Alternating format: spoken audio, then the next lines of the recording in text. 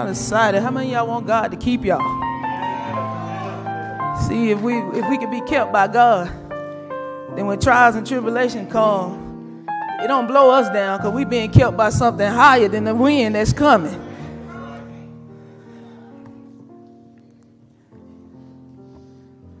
Truly, I am give first giving honor to God who's the head of my life, to the pastor of this great church, to the ministers on the roster, to the MIAs and the women's missionary, happy anniversary. Amen. I count it not robbery that you have given me an opportunity to speak, and I thank God for it. And I pray God has a word for his people. If we can turn to Matthew 5.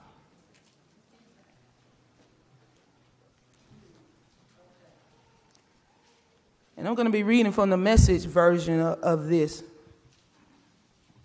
Matthew 5, 13.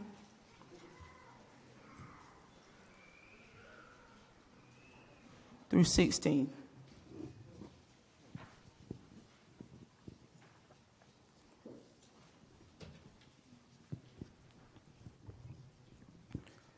And it says, Let me tell you why you are here. You are here to be salt seasoning that brings out the God flavors of the earth. If you lose your saltiness, how would people taste godliness? You've lost your usefulness and will end up in the garbage. Here's another way to put it you're here to be light, bringing out God colors in the world. God is not a secret to be kept. We're going public with this, as public as a city on a hill. If you make, if I make you light bearers, you don't think I'm going to hide you under a bucket, do you? I'm putting you on a light stand. Now that I put you on there on a hilltop, on a light stand, shine. Keep open house. Be generous with your lives. Be, by opening up to others, and you will prompt people to open up with God, this generous Father in heaven. Let us pray. Father God, we thank you for another opportunity to speak, God. I ask you that allow me to decrease and you increase in me, God. And I pray that your word would go forth clear and unhindered, Father God, and that we can be better men and women for you. Oh God, we trust you and we love you. Amen.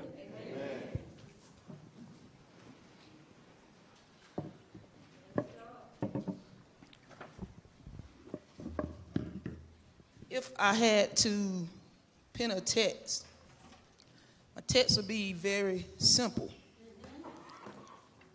On a mission. Pass the salt and shine your light. On a mission. Pass the salt and shine your light. I know we always sing the song, Let Your Light Shine, Shine, Shine. It may be something in the valley, somebody in the valley trying to get home. Y'all know that song, right? And we always say, let our little light shine. Uh-huh. But I never really ever seen a little light. Because right. even when you plug in a light to your night light, after a while you can see that light illuminate that whole wall. So I want to dig up the myth that we don't have little lights. We got big lights. Because if we're going to sit up on the top of a hill, we can't have a little light. Because if we have a little light, they won't see us. But because we're going to sit on top of the hill and we have a big light, when they see us coming through, it should be catching to everybody who's coming, like, oh, here they come, because our light is so bright. So, what is that saying? And I'm, I'm, I'm going somewhere with this. If our light is bright, when darkness see us, they ought not want to stay dark because guess what? That's uncomfortable to them. Okay, let, let, me let me make it home. Let me make it bring it to you. You you know when we were living in a world of sin uh-huh. and we did things that we should not do, nine times out of ten, we did it at what? At nighttime. Why we did it at nighttime? Because we didn't want folk to see her do it. Well, maybe y'all not. Y'all probably. And I did. I just say me because y'all might not were there. But okay, so I didn't want people to see me do it. So I did it when nobody could see me do it, and I snuck around so nobody could see me. What am I trying to say? If we're connected to Christ, people shouldn't be comfortable doing anything and everything in front of us.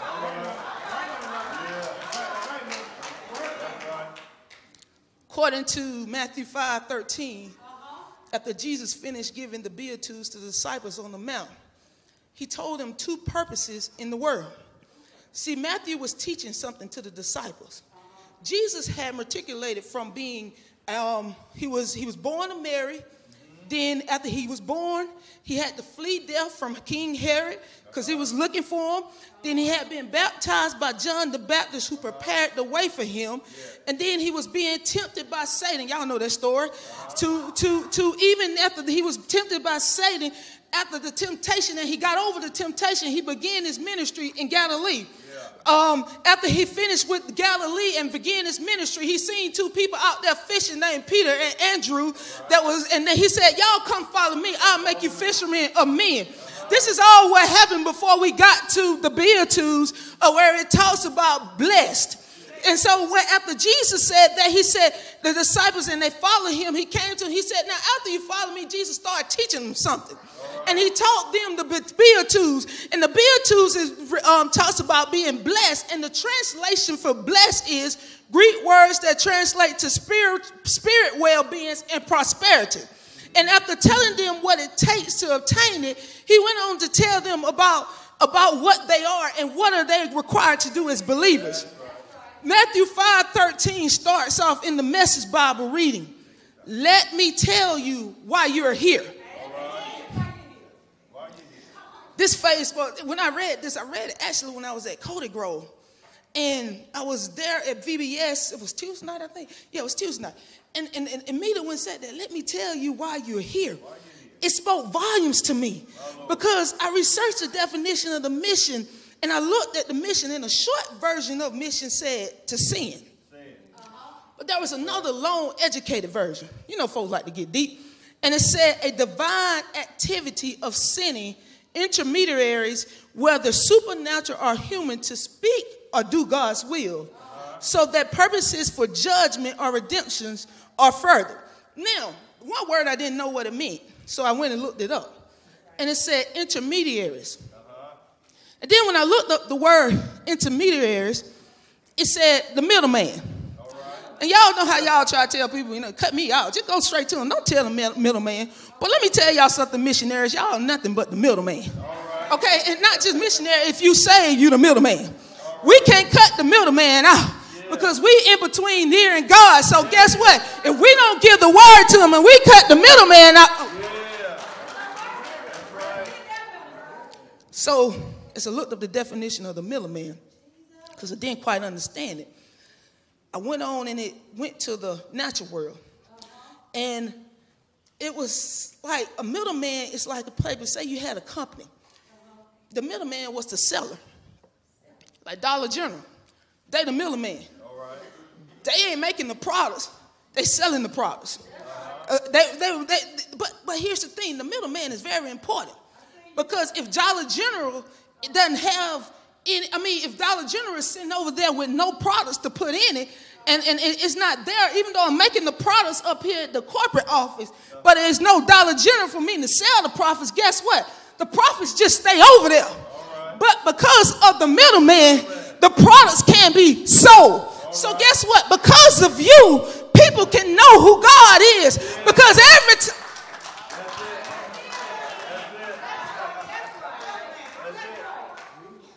So we can't eliminate the middleman. So I said all that to say MIA, senior missionaries and the people of God. Matthew 5 13, as his message says again, let me tell you who you are. See, you can call yourself the middleman, it's okay. Or the middle, middle woman, perhaps. Or even the facilitator. Or make it biblically sound, you could bring call what Jesus said. You are here to bring out the God flavors of the earth. So I'm the salt. Or you can say what Jesus says, you are here to be light, bring out the God colors in the world. So you're the light. Our role as believers are to congregate and to spread. The whole purpose of our being is to spread the gospel.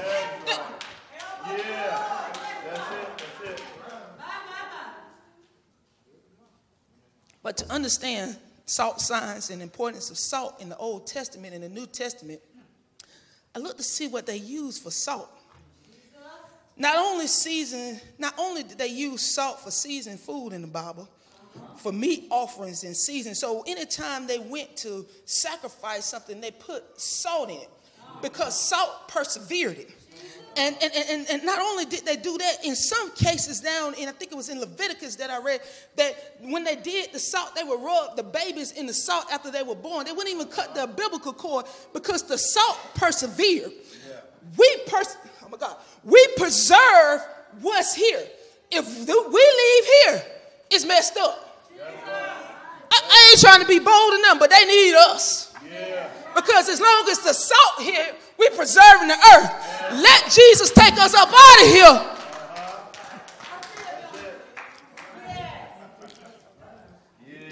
Salt, Jesus used to describe how Christians need to bring needed or needed to bring home balance and hope to the otherwise dying world. But guess what? If salt is what's needed to bring balance to the world, why are we responding like the world when situations happen? Because guess what? If I, you need me in the world and I help bring balance to the world, why do I have to act like the world? It, it, to me, to me, it, it confuses me because when Jesus said this, he said, "Salt preserves and enhances." We are preserved for the world just as Jesus is preserved for us. Jesus preserved for us, we're preserved for the world. Y'all, John 17, 15 said Jesus pleaded with God to preserve us. He said, I pray not that you should take them out of the world, but you should keep them from evil. Now, let me tell you what evil is. He said, No, you may have trials and tribulations, but He gonna keep you from the deadly sins. Guess what? Jesus gonna preserve your children. Jesus gonna preserve your household. Jesus gonna preserve your family.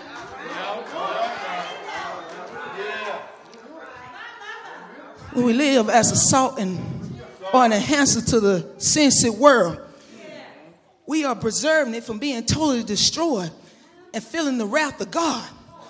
The wrath of God are for those who rejected Jesus. You don't have to experience the wrath. Because when Jesus come back, we going with him. The wrath ain't gonna happen and I'm gonna be still on earth. The wrath gonna happen, I'm gonna be caught up somewhere to be with Jesus. So you don't have to walk around and fear, oh, Jesus come back. Yeah, he coming back, but when he come back, I'm going with him. You better make sure you going.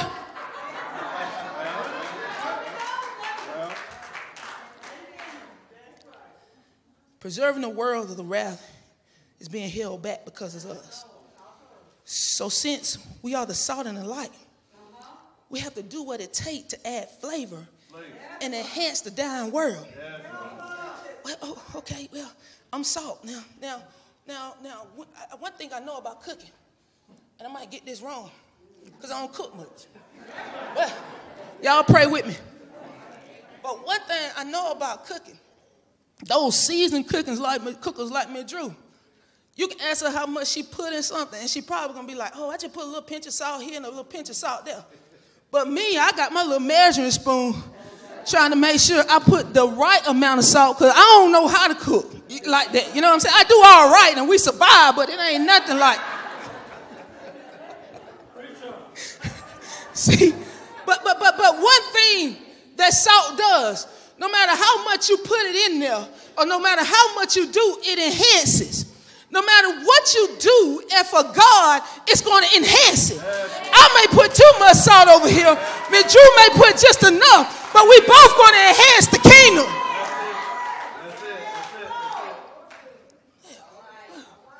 I thought about this thing, and I said, well, tell them, how do you enhance?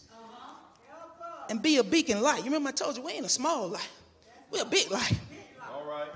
How do I enhance and be a beacon light to the dying world that seem like they won't listen. Wow. I'm glad you asked, Reverend Lasby.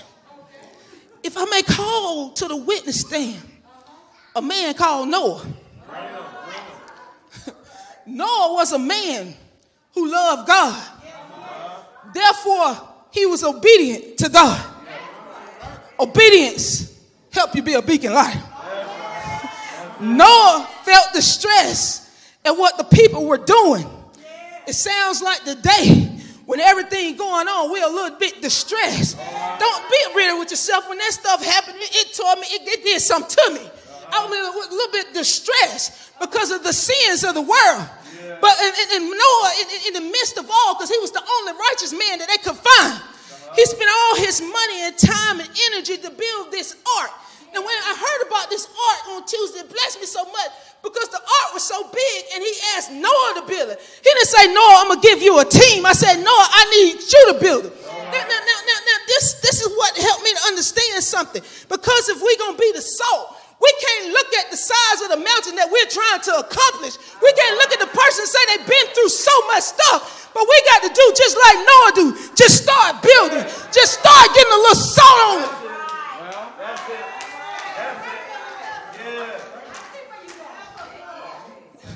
See, it wasn't easy to build, but it was possible. Because not only Noah was obedient, but he was connected to God. Let me tell you something when you're connected to God, it ain't no devil in hell can stop you from doing what God has called you to do. Yeah, they may talk about you, and yeah, they may scandalize your name, but do you know who my daddy is? That reassures me that we do all things through the Christ that strengthened us. We want to overcome racism barrier between the black men and our children and the police officers and our teachers. I'm gonna be real. We got to do it through Him. We want for God to heal the sensitive land. We must do it through Him. We must know what He said and what as African Americans stand on it. He said, "If my people, which are called by my name, will humble themselves and seek God's face and turn from their wicked ways, I will heal their land and forgive their sins." You want McDuffie County healed? Turn from your wicked ways. You want people set free from poverty? Turn from your wicked ways. Stop talking about them and start praying for them.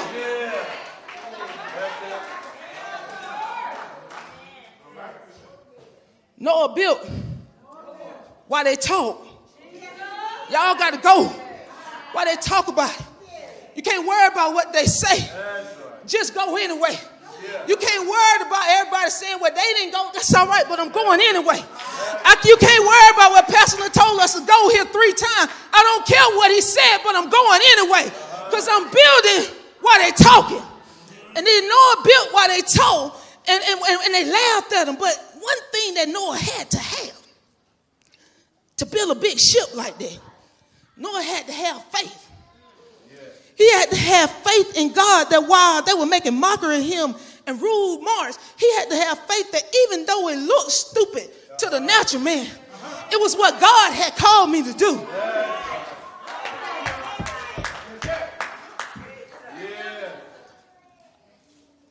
Not only he had to have faith, nor to allow himself to be the salt and the light that caused men to see the difference in him. He didn't act like they did. He didn't respond like they did. He didn't retaliate like they did. He just kept doing the will of God. Now, this was hard for me this week because I wanted to say a whole lot of stuff to some folk. I wanted to call some folks and tell them some stuff. But then when I looked at Noah and I seen Noah, but they said this to Noah. And not one time did Noah say anything back. He just kept doing the will of God. We don't have to fight with the people. We just need to do what God has called us to do.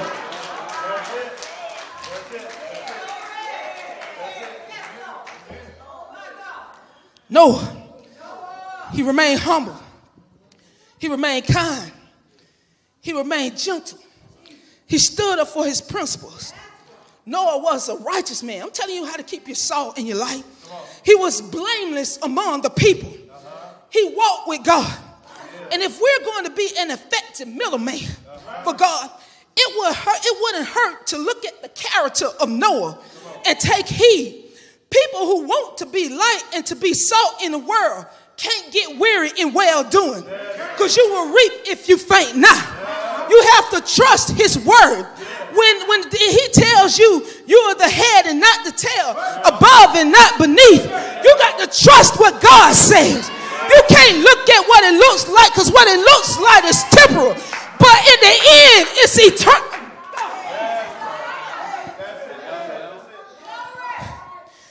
You have to walk with God daily. You have to remain humble. You have to let your light shine so that men can see your good work and glorify the Father which is in heaven. You have to stand up and stand on the principles of God. You have to be kind and you have to be gentle. You have to be understanding and you have to be patient. And, and, and not only that, you got to make your life blameless. So it won't taunt the image and the idea of who the God you serve. See, because I, I, am telling you something about people. Even if you're trying to get it right, if it look wrong, they're going to automatically connect you to your dad. They said, but she was here, or he said he was this. But look at what he's doing. We have to walk circumspectly so we won't taunt the image of our God. You got to love all people. That's what Noah did. He didn't hate them, regardless of who they are and what their mistakes are and where they come from. You got to love them. God wants his people to pass the salt and let your light shine. Philippians 2 14 through 16 said this, and I'm reading from the message. He said, Do everything readily and cheerfully, not bickering, not second guessing, no second guessing allowed. Go out into the world uncorrupted, a breath of fresh air in this squalid and polluted society. Provide people with a glimpse of a good living and the living of God Carry the light giving message into the night so that I have good cause to be proud of you on the day that Christ return. You'll be the living proof that I didn't go to all this work. I didn't go through all this work for nothing. Now, what am I trying to say? Sometimes you must be honest. And, and, and, as I thought about this, because if you go back to where Jesus said this, he said, if you lose your saltiness, how will people taste godliness? You've lost your usefulness and will end up in the garbage. Now, that was 15, um, um, Matthew 5 13b. If you lose your saltiness, another version said, What good is salt when it's lost? It's favor. What Jesus knew was trials were going to come. And it can cause us to become weary if we're not careful. And just like salt begins to be diluted and altered by water, y'all, y'all think about this. You, y'all made some grits before, well, I have, y'all. But, but in the grits, I don't put so much salt in them grits, you can't hardly eat them. So to cover the salt, I keep putting what? Water. What am I trying to do? I'm trying to dilute that salt a little bit. Well, it, the, the water, water altered the salt. When we put too much salt in when, when I think about when you put too much salt in and it have to add more water, Christians can be diluted by experience. Now, let me tell you how Christians can be diluted by experience. What, what we believe before a traumatic event is sometimes not the same afterwards. Trials can make us become weary. Weary, you know how it is when you're feeling or showing tiredness. What does it mean to grow weary? The Greek word talks about to labor until you're worn out. You're depleted. You're exhausted.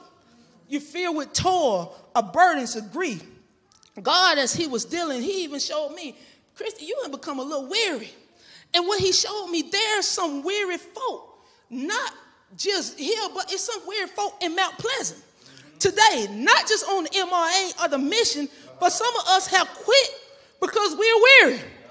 There are some weary folks in Baton Rouge, Louisiana. There are some weary people in Minnesota. There are some weary people in Dallas. There are some weary people all over this world. In churches and in government, these people are depleted and worn out. But now I'm talking about not just anybody, I'm talking about some Christians now. Now, because so much has happened. But let me tell you, God told me to tell us this.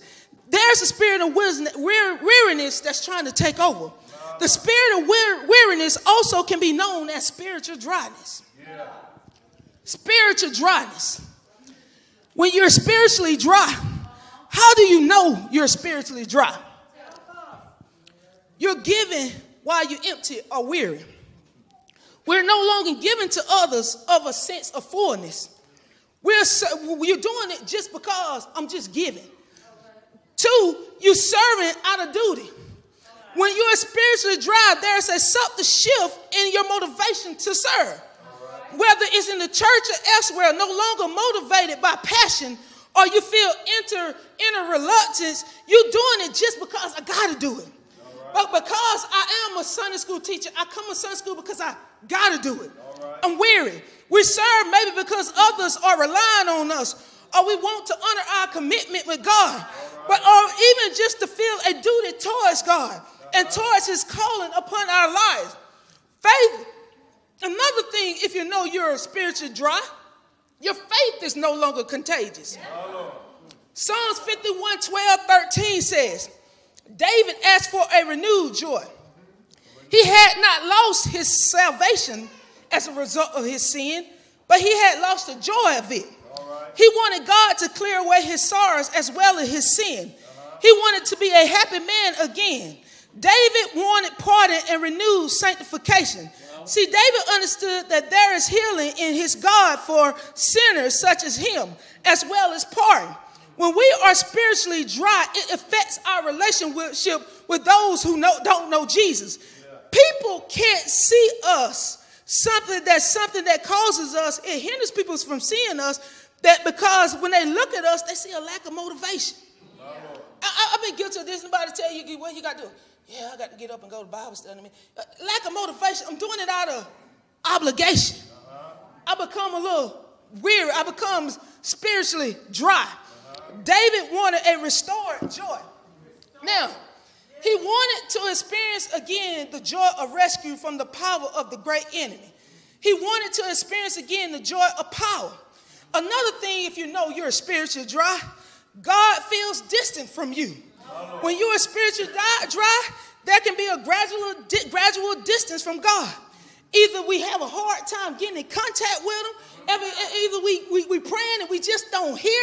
We just feel like, God, you hear me saying this over and over again, oh, oh, but you in a dry place. Spiritual dryness. It leaves your life in a rut. You lack the excitement you once had. You know, when we first got saved, we were just on fire. Every time the door swing open, we were there first, sitting on the front pew. But after a while, we get in this little rut. And because we in this little rut, our devotional time stop. Or I slack up just a little bit. We even we start doing something just out of rote memory exercise. We just do it because I get up at three o'clock in the morning and study. So I'm just gonna keep getting up at three o'clock in the morning and study. Ain't no passion, and I'm just doing it out of routine. Guess what? I'm going through a rut. We love God, but we lost the sense of being in love with Him. Our relationship with God has lost its freshness. Another thing that hinders our spiritual I'm almost done. It's contributing events, spiritual burdens, tragedies, sudden trauma. It can deplete us spiritually. That's why we need some salt. Because some folks been depleted and they ain't never regained it. Because they've been hurt so long and they've been enduring this thing for so long. So they're spiritually depleted. Well, guess what? They're in a dry place. Yeah. Well, if they're in a dry place, something about salt, it can bring moisture too. You need spiritual dryness will cause you to have negative thinking. You got an answer for everything. You got a reason why you can't do everything. You got a problem with everything that needs to be done. You got to make an excuse because pastor said be here at 7 o'clock and why can't we be here at 8 o'clock because it works better for somebody else? We, we, just, we just in a dry place. No matter how no matter how pastor said it just don't make sense. That's negative thinking. Oh you know we all been there before. But i want to encourage you not to be weary in well doing. You will reap if you faint not. So even when you find yourself in a spiritual drought or a weird place Ask God to reveal to you what is it? What is it? Is it a unconfessed sin? Uh-huh. Is it me just being lazy? Yeah. Do I have a bad attitude about stuff?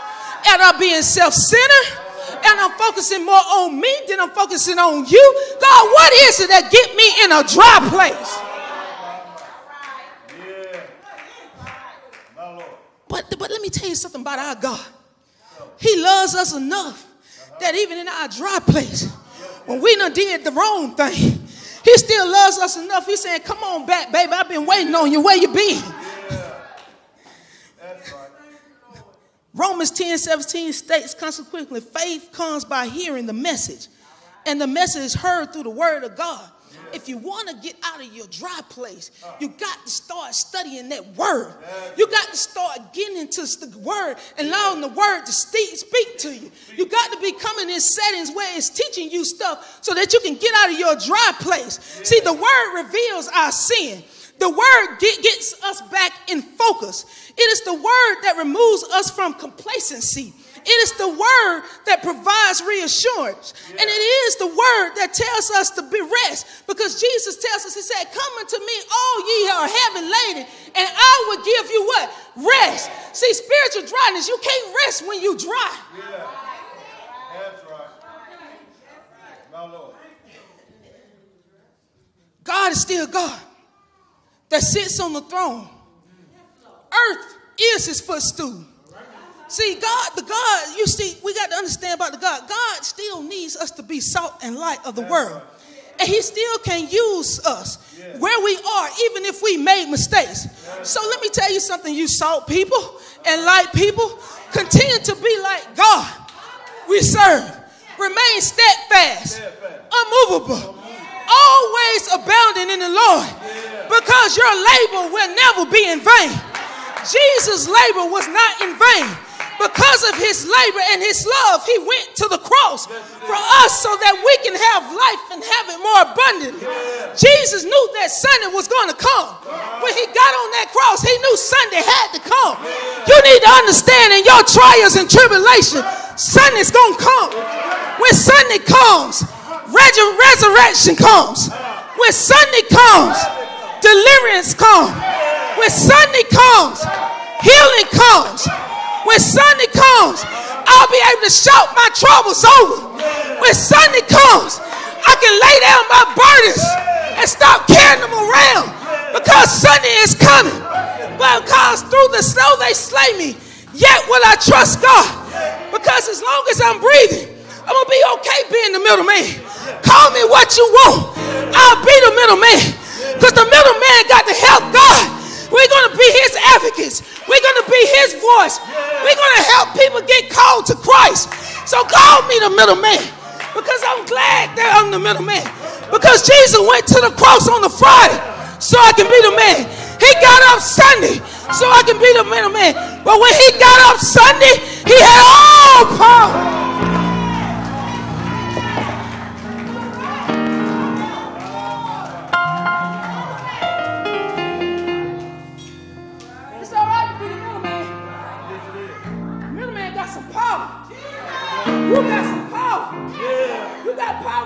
The scorpions and the power of the enemy. You got power. Yeah. I can speak the stuff and it's going to change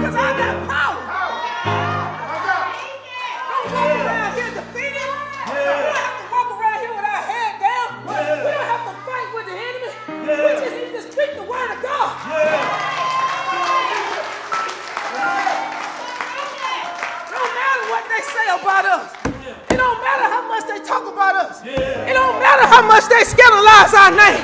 I'm going to speak the word of God. I don't care what the doctor says. I don't care what his report says. I appreciate you letting me know. But let me tell you what my God says. My God said he was wounded for my transgressions. He was bruised for my iniquities. And by his stripes, I'm healed. I ain't waiting on it. I'm healed.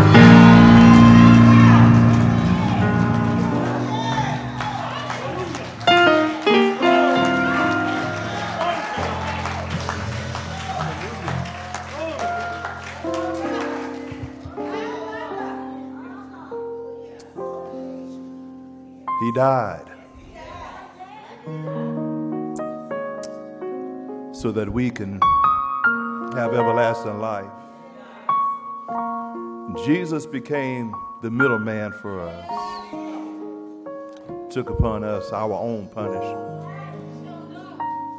His sins, he, he, he put on his shoulder, and he died on Friday. But early on Sunday morning, because God was pleased with the middleman.